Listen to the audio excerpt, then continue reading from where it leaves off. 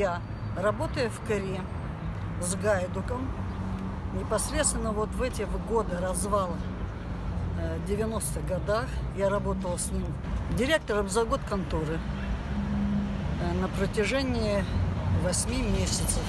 Давала план 118-120 процентов. Платил очень мало. Я человек принципиальный.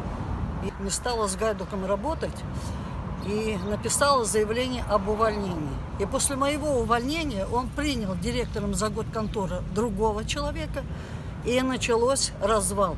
За год конторы, э, хлебозавода села Кыра и все прочее. И когда Гайдук баллотировался в депутаты Верховного Совета Государственной Думы, я голосовала против, потому что знаю этого человека.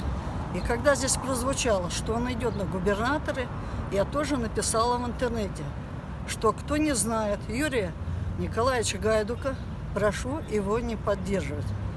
Ну, я принципиально, я коммунист, и он коммунист. Но когда был развал партии, такие как Гайдук отошли в сторону и не приложили руку к восстановлению.